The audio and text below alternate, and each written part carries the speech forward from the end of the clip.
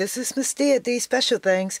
I hope everyone is having a happy Easter and um yes, a great day. So happy Easter everyone. Yes, I wanted to share with you a project I worked on this weekend. I wanted to make another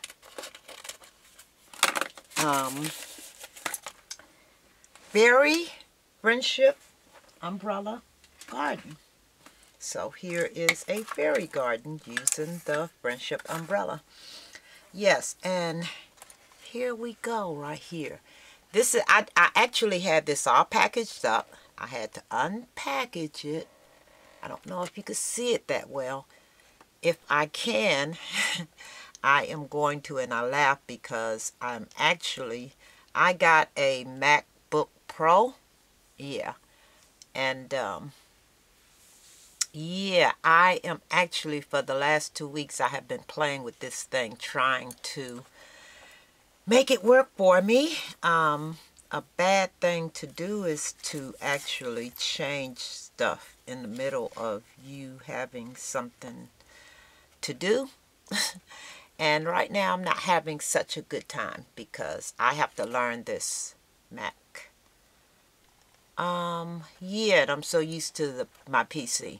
But anyway, yes, I actually made this umbrella for one of my subbies and one of my now YouTube buddies. Yes, so I wanted to send her um, this because, matter of fact, I'm not going to say who it is, but she'll know who it is. And you'll have to see who it is when they receive it because if I say, they'll know who it's going to. But anyway, I just wanted to share this.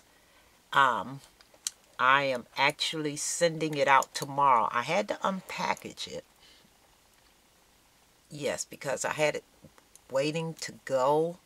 And I realized I had not did a video or taken any pictures of it. So here we go. Um, I actually used a 6 by 12 two 6 by 12 sheets of paper to make this. So it's um, not as large as the Friendship umbrellas.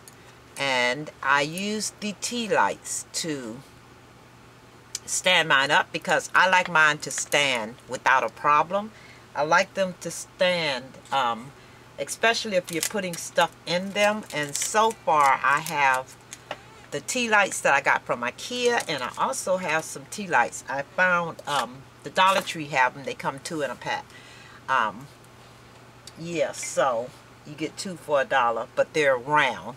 Yeah but I got some of those um, and I've been using these on my uh, friendship umbrellas and that's because they're sturdy and they stand. The only thing about it is glass so I have to use doilies in between the umbrella and the glass so that it would have something to adhere to and it won't fall apart. Yes yeah, so um, especially in shipping in shipping and I'll have to send that a certain way but it doesn't weigh much. It um I mean if you're sending something like this you have to pack, package it accordingly anyway. But this I made using um, polyfill and I just covered it with felt and covered it with lace and stuck it inside. I used for the grass as you can see um, I used reindeer moss and I got it from AC Moore. I'm going to have to go pick up more and I said that the last time I haven't picked up any. This can also be a pin cushion as you see right there. I actually have some pins that I made. Either I made them or I got them from friends. Yeah. Um, yeah, and I just kind of decorated it pretty much the same way as I did the other one. Well, almost none of them are alike, right? You can't do the same thing twice, right? Yeah, but this is my Fairy Garden Friendship umbrella. And I'm going to send this out to um, one of my subbies. And I hope she likes it. Um, yeah, I also have a another no it was a giveaway someone didn't claim their giveaway so I'm going to send it to one of my IC challenge uh, card holders yeah I'm going to send it to one of them because um, only one person claimed it and I don't have addresses or a way that I could contact people if you don't give me your email address or whatever. This was a hidden giveaway or supposedly a hidden giveaway. So I, I didn't have any way to contact the person that I chose. So yeah, I'll be sending that out and I'll do a video or and or the person that I send it to, you'll have to wait for their video.